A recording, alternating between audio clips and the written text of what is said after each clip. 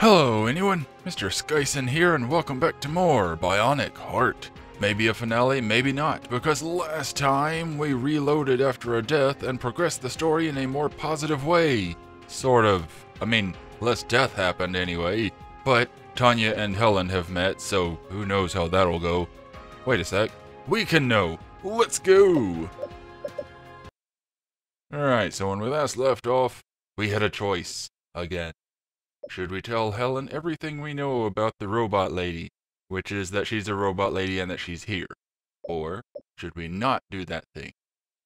Uh, it's a tricky thing, but I think we should tell her.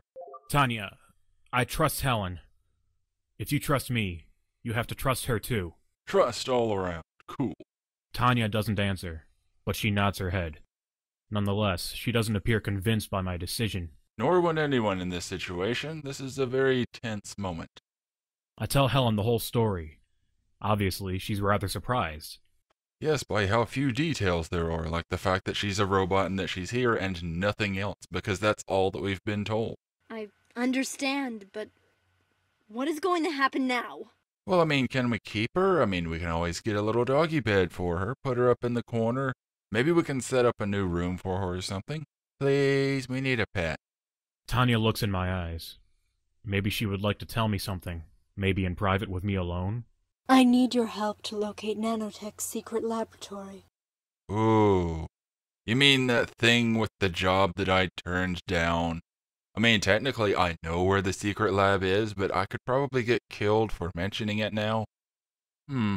I feel we made a wrong choice at some point. I hope that doesn't come back to bite us. S- secret laboratory? Uh oh. Oh, now she knows about it. I guess we're all going to die.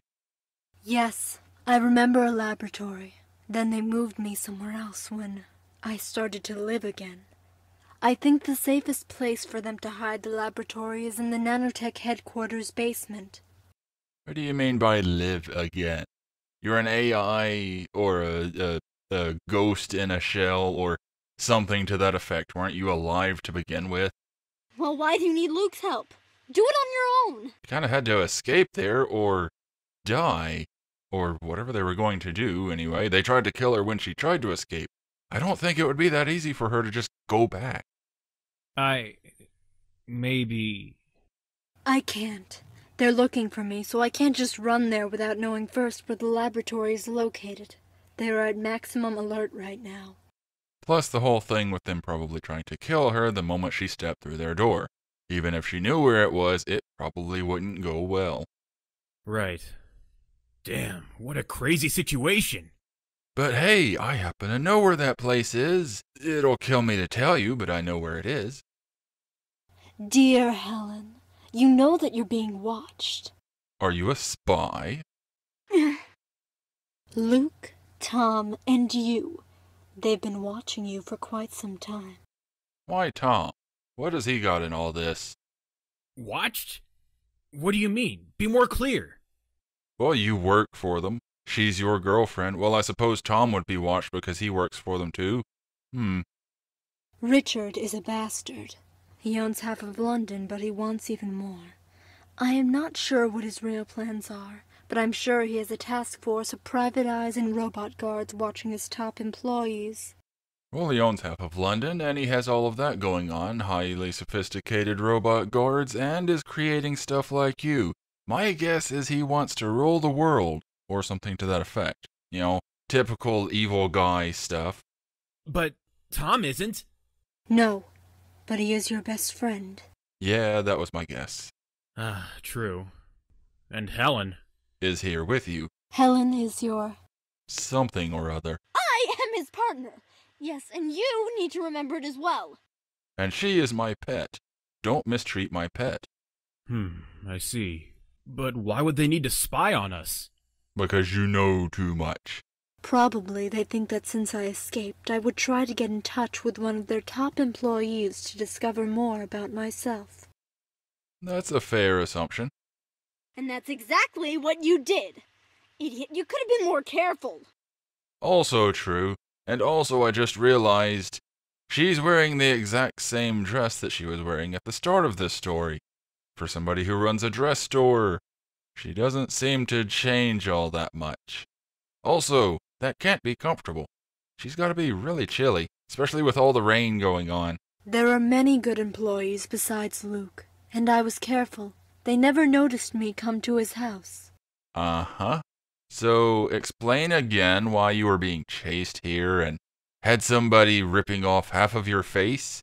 How did they not notice you coming here?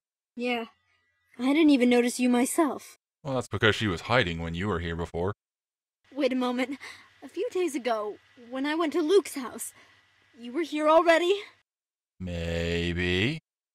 Helen, that's not the. Yes, I was here, but I was hidden. Like I said, she was hidden. And you watched us when we. Maybe. The two remain silent for a while. Helen is embarrassed, but Tanya as well. I I don't know what to say. But I think we have more urgent matters to take care of right now. Yes, yes, much more urgent matters than a peeping Tanya. Chapter 4 Spy vs. Spy. Oh, that was always a fun series. Two hours later. I said no! I'm not leaving Luke alone with you! Oh, why not? She's paper trained. Helen glares at us, her gaze piercing us like a knife. Oh god, she's pulling a knife on us again. Oh my god. You're so stubborn. Tanya returns the glare, letting out a long sigh. How does she sigh? She's a robot. She doesn't need air. How do you function, lady? Just forget it. Forget what? Who are you? Who am I? Oh god, what is going on here? Helen, listen! I don't know why I'm trying to reason with her. I know her well enough to know she's beyond reasoning now. Yeah, she seems slightly unreasonable even on a good day. Bit of a commanding sort. Either I stay here with you, or you come back to my place with me. Back to your place? Yes, there's no way I'm leaving you alone with her. Well then. Helen points at Tanya, her frown deepening by the minute. Huh, what should I do?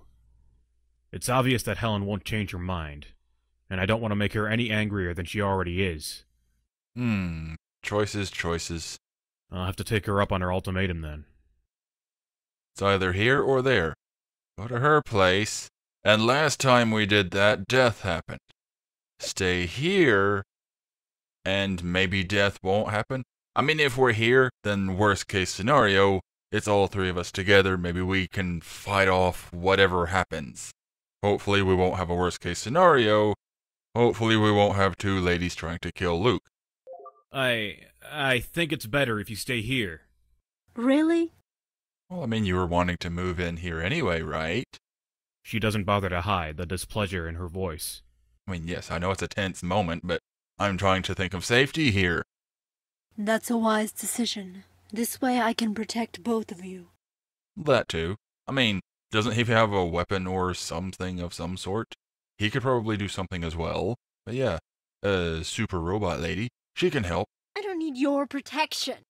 Helen hisses at Tanya. Um, technically, you do need her protection. She almost killed you before, and in a past life, she did kill you, so there's that.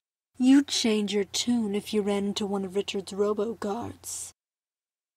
I step in before Helen can say anything in a weak attempt to minimize the damage. Sounded like she changed her tune to silence for a moment there. Well, what's the plan then?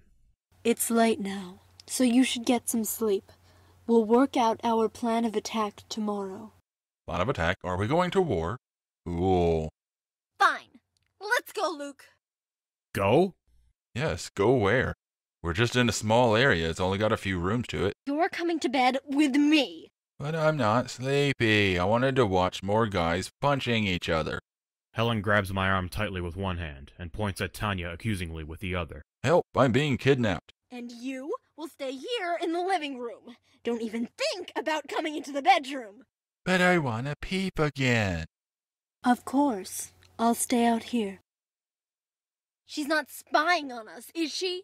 Did you bring extra clothing? Oh, right, the wardrobe. Okay. Helen glances over her shoulder, as if she'll be able to catch a glimpse of Tanya looking in on us from the living room. Peeping Tanya. Ooh. I can at least get undressed, right? It looks like you already have. Don't worry, she's not spying on us. Which I still think is weird because now you're wearing more clothing than you were when you were wearing the dress. I don't get how that works. I don't understand how you can be so calm when you've got that. that thing inside your own house. Well, she's a nice thing. She hasn't killed me yet. She isn't as aggressive as you, and she doesn't make high demands of me. uh, For the most part. I just. I like having her around, okay? Yeah, she's a nice pet. What? I said she's a nice pet. Do you not listen? Helen's eyes narrow, and I recognize her expression. One false move, and I could be done for. Look out, she's got a knife again. Holy crap, where does she keep getting them from? It's hard to explain. I mean, it's like when you have a pet, you know? Haha. Sure, you love it, but not the same way you love a person. But it's still nice to have it around. He is going with the pet angle. Cool. She's not a pet, Luke. Maybe she is. I mean, she's a robot. Just, just forget it. We should really go to sleep. A few hours later. Eliminate them all. Oh crap. Well, that's not good. What? What was that? Uh, it sounded like a robot, Luke. I wake up to the sound of something coming from the entrance of my house. Sounded like a robot, Luke. Helen, wake up! Oh, she's dead. I shake Helen's shoulder, trying to bring her out of her sleep. Mm, No, I want to sleep. Hey, not dead. She rolls away from me. Something is happening! Come on, wake up! Shake her violently, man. We must wake her. We can use her as a weapon against the robots. Huh? Wh- What are those sounds? Robots! It sounds like robot guards. They're inside. Finally, somebody's taking the hint. Okay, um, do, do, do, do. examine wardrobe, I guess. I look at my wardrobe. It's definitely big enough to hide inside. But I don't know if Helen will fit too. Hmm. Well, sorry, Helen. We've had a good run, but you just gotta go. Uh, examine nightstand. Wait. Oh, hide in wardrobe. Okay. Examine nightstand. I find my Phaser 3000 in the top drawer of my nightstand. I bought it for personal defense, but I never thought I'd have to use it. Supposedly, it can melt through any metal. Any metal, you say? Like robot metal? I'm gonna take that. I grab my gun and check to make sure it's in working condition. With this, I might actually be able to help Tanya fight those robots. Cool. Let's go fight us some robots. To the entrance. I dash into the kitchen, ready for a fight, but I come grinding to a halt when I round the corner. Forget hiding. We're going in guns blazing. Oh? Why, if it isn't Luke! Welcome to our little party! Oh man, you guys threw a party without me? Also, I'm here to kill you all with my Phaser 3000. Richard? Yeah, how'd you get into my house? I can't believe my eyes. In the flesh. I'm almost finished with Tanya, but I promise that I'll get to you soon. Finish with Tanya how? What are you doing with her? How did you. Yeah, how did you get in here? I've been following you for weeks, Luke. Too bad you never noticed, or you might have been able to do something. Well, we did notice. It's just, uh, you acted before we could do anything. You didn't really follow the rules there, Richard. You. Finally, I'll be able to put an end to your plans. Hello. Why, uh, why are you in a swimsuit?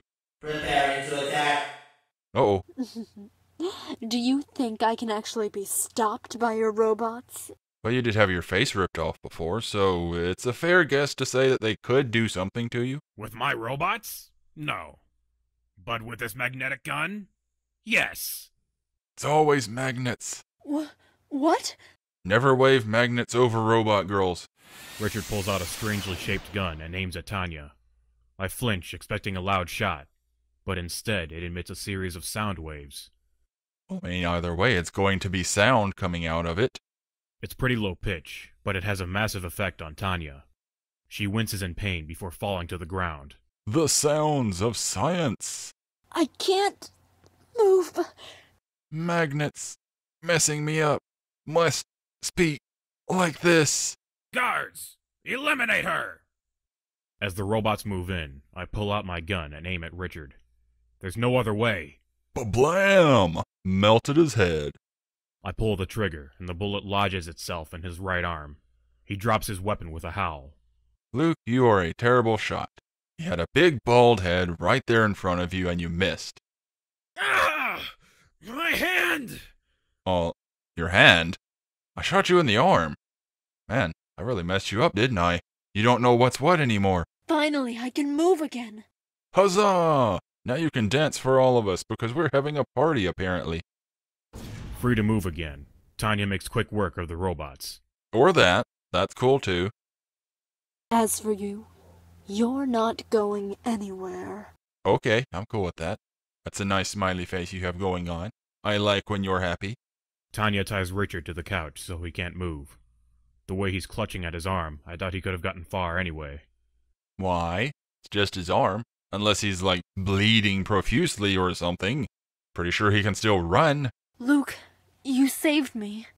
Not that he could have run very far with the super fighting robot lady. Tanya throws her arms around me and thanks. But her embrace is so powerful, I'm finding it hard to breathe. Yay, the love, the horrible, horrible love. Ah, T- T- Tanya! can't breathe. Dying from love.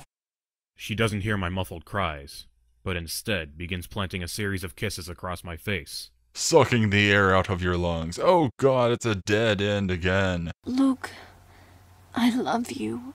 And then he dies. Broken spine, asphyxiation, all of that fun stuff. Crumples to the floor. Wh- what? Ever since I met you, I felt an attraction. I know I'm not a real woman, not like Helen, but please give me the chance to make you happy.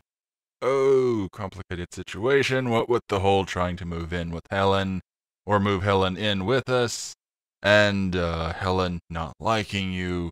Oh, I. I don't. I whirl around at the sound of a strange noise. uh oh. It's Helen, and she's crying. Why? Why everything gotta go bad? We were finally getting something positive going on, and then Helen shows up. Hi. Helen, I. It's not what you think! It's a party. Yes, it's a party. We're all just having a party. It's a fun time. Partying. Yay, party. Um, Police, open the door. yeah, it's the police. We were partying too loud, so we should go check on those police. Let's go. The sound of pounding on my front door cuts me off. The police? I called them. Uh oh. Well, that's why. Damn. I should thank you, you stupid woman. You're welcome. Even in his pain, Richard manages to gloat over the turn of events. Well, he's an evil jerk. They're kind of all about gloating. Thank me? Why are you all looking at me? What did I do?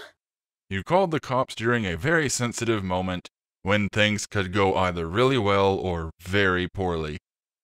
Nobody move. Not moving. Can I move enough to click so we can progress? I'm gonna do that. Don't shoot me. Listen, I can explain. Yes, let Luke explain. You, you're Tanya Vanek. You're under arrest. Why? What? Why? Yes, why? Didn't you know? She's wanted by the police. This woman is a dangerous criminal. Holy crap, I've been harboring a dangerous criminal this whole time. I had no idea. I thought she was just my pet robot. I bought her legally from the pet store just recently. You can't prove anything. A dangerous criminal? Tanya looks shocked at this statement. Don't play innocent. You're a serial killer. She kills cereal? Okay, this changes things. I have a kitchen, possibly with cereal in it. Hmm. Continue. I. The look in her eyes changes as a flood of memories sweeps over her mind. I remember. The Alamo? She's petrified by this revelation, after searching so long for her identity. I have to do something! Remind everybody that you're having a party. She's not that person anymore!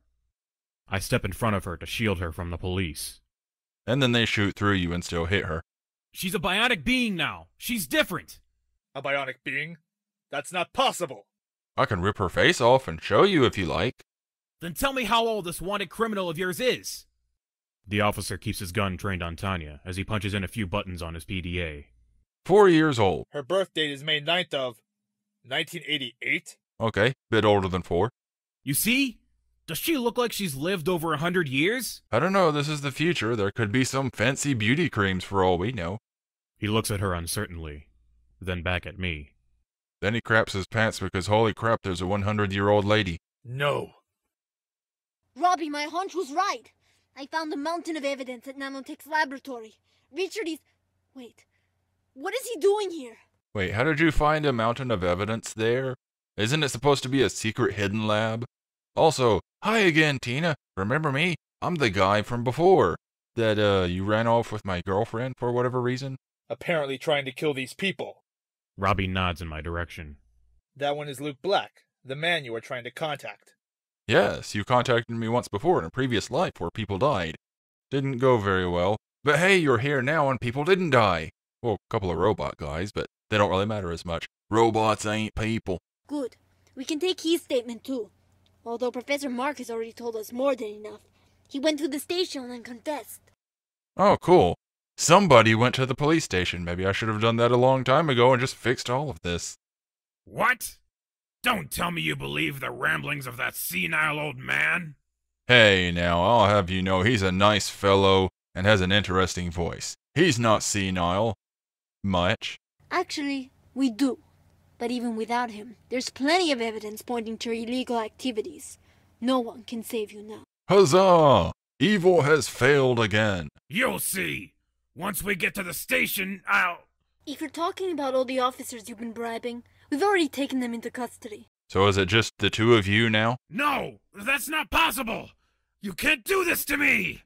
That is some very thorough policing. Two officers carry an angry Richard from my apartment. He makes a lot of noise, but puts up very little resistance. I can't say I'm sad to see him go. But you are pretty frustrated over the fact that he just bled all over your apartment. Well, I suppose we need to arrest Tanya as well. Why? Her actions took place a hundred years ago when she was a human, or whatever the situation is for that. I'm pretty sure it doesn't count anymore. No, she's different now. She isn't a killer anymore. Yeah, she's a robot person, not a person person. Robbie, let her go. Yay! What? Why? She's strong enough to have destroyed those two robot guards. Yeah, in self defense, not murder. Exactly. Huh? If she wanted to escape, there's no way we could stop her. But instead, she hasn't done us any harm. That is also a fair point. If she really wanted to leave, she could. She could just snap all our necks and walk away. Tina looks at me with a knowing smile. I think it's because she found someone to love. Or that. Robbie lets out a resigned sigh. He's like, okay, I'm outnumbered by three girls and one guy that really doesn't want her gone. I'm just going to let this go. That may be true, but what do we say in the report? We can't exactly tell them, oh, sorry, we set the serial killer free because she's good now. Well, you could just say you didn't find her or she was gone already. Don't worry. Let me handle it. Let's go. Ah, okay. I guess it'll be fine. After all, she doesn't look evil. In fact, she looks pretty good. Hey, now, that's my pet robot you're talking about. Robbie, stop looking at her! Yeah, Robbie, stop looking at her. The police clear out of the flat, leaving an awkward silence in the air. Finally, Helen steps forward and asks me the inevitable question. Oh, crap, I'd forgotten about that. Hi, Helen. So, Luke, do you love Tanya? Oh boy. Crap. I forgot that this would probably be a choice in the end. I don't know, there's a lot of pros and cons here. With Helen, you've already got the uh, history. They've been together for what was it again? Eight years or so? Some amount of time. But then she's also got that rough personality where she seems very demanding of him. I mean, yes, she's impatient, but she seems very easy to anger. So I'm not really sure. They have the whole history thing. Tanya, on the other hand, seems pretty nice overall. She did kind of threaten everybody early on, I will kill you, but it was because she was scared of what was going to be happening and trying to figure out who she was and all of that stuff. Then again, she's also a robot. Uh, is it like love at first sight? Or, hmm. Because both Luke and Tanya did sort of apparently have an interest in each other from the get go. While Helen, it seems like things were honestly starting to fall apart between them anyway, regardless of if they got together, like moving in and all. So I don't really know. But then again, Bionic Heart, it's a romance game of sorts with the robots and such, so. Let's just go with Tanya for now. It's an ending. Helen, I'm sorry. Wait. Before you say anything, I need to confess something. Uh oh.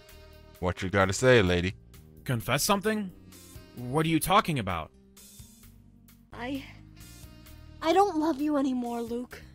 Well, holy crap, I guess we dodged a bullet. We would have been stuck in a relationship that we would have been miserable in because she would have not loved us.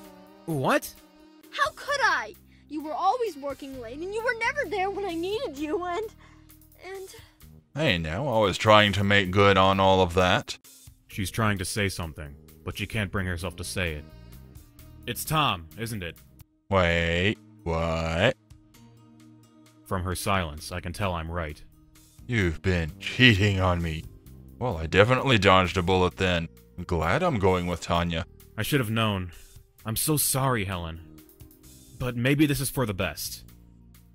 Yes, it probably is. We're not going in the same direction anymore.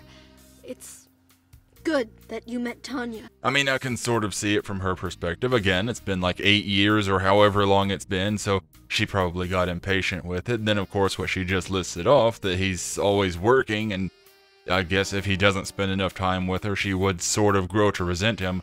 But if you're going to be cheating on somebody, don't. You know, uh, that's not that's just not a good thing to do. Just be upfront about it. Say, I no longer love you. I'm going to go look for somebody else to be with. You don't just go behind their back with that kind of stuff. That's just not right. If that's what you think, then why did you throw all those jealous fits before? Yes, explain that. It wasn't jealousy. It was envy. I was envious of you, of your body. Okay, I can see that. Sort of. My body? My body is yours, Helen. Oh, are we going that way now? Wh- what do you mean? I patterned my body after yours. The build, the size, everything. If you were envious of me, then you should be proud of your own body. R- really? Helen sniffles for a moment and wipes away a tear from her eye. She looks a lot more hopeful now. Uh oh, where's this going? Everything feels so surreal. The lives that we'd lived up until now had suddenly fallen apart and come crashing down around us. But we were still happy. Or maybe it was more relieved that the entire mess was over. Yeah, I would say it's probably more the latter than the former because uh, it's a lot of stress to have built up. And then, of course, having the whole evil guy and his robot guards showing up and shaking all of the things up. I wonder what he's going to do for work now. Will that continue on, or does he have to look for something else? Hmm. A few weeks later. Hi, cat. Wow, I forgot you were in this. Meow, I'm hungry. Othello, you must be hungry, eh? Come here. Hey, Othello grew a mustache now. Tanya lovingly pets Othello and then feeds him. It still seems impossible to me. Tanya and I have been living together, and she's a fantastic partner. Yes, much more cheery than Helen was, and a lot less demanding of all of the things. She's still a fugitive, but Tina made sure that she was classified as a not very dangerous threat. which is sort of a joke, because she could easily kill the whole population of London if she really wanted. Yeah, that's true too. But she's friendly, so as long as nobody ticks her off, we should be good. But she's abandoned the path of vengeance, of anger, and chose the one of love and friendship. Yes, friendship. She became a friend of Helen. Well, yeah, Helen seems to be really into herself, and since Tanya modeled her body after Helen's, I can see how that would work out. Helen is like, oh my god, you look like me. I'm fabulous.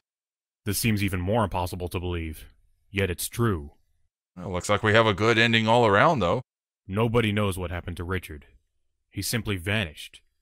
But now that his headquarters is destroyed, he shouldn't be a menace anymore. I kind of figured that since he's some rich, evil guy, he would probably just be able to pay whatever bail he had and then just make his way on out.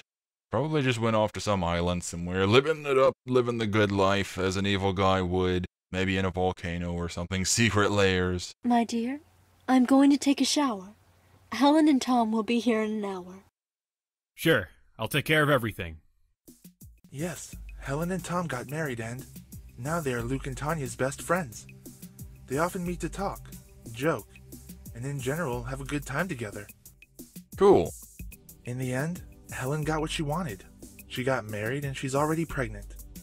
Tom obviously stopped flirting with other women, knowing well that Helen would get very angry if he did. And pull a knife on him. In the London of 2099, everything can happen. Flying cars, virtual gardens, holographic movies, and, in 2099, Your lover might be a robot. Gasp. Wait, Futurama did a thing on this. It didn't go well. The end. Or better, one of many possible endings, blah blah blah. We've already seen this. But yay! We got an ending where everybody was happy and nobody died. Holy crap. I was just one choice off from getting this ending before. Wow. Just goes to show all it takes is one flip of the coin to change everything. But yeah, overall, I had an interesting time with this. It was definitely fun adding my own unnecessary story bits to things, and the fact that the characters had voice acting was pretty nice as well. It's not something you see super often in visual novels. And while this isn't the best VN that I've experienced, it was still a good time, and I'm curious about the different endings. There is a sequel to the game that came out a couple of years ago, but I don't know if I'll be doing that one or not. Let me know in the comments if you'd like to see it. But anywho, this has been Bionic Heart. I hope you've enjoyed watching. If you did, then give the like button a tap. And if you want to see more like this or more from me, then give the subscribe button a big thumbs up. I will see you all next time, and remember to stay groovy.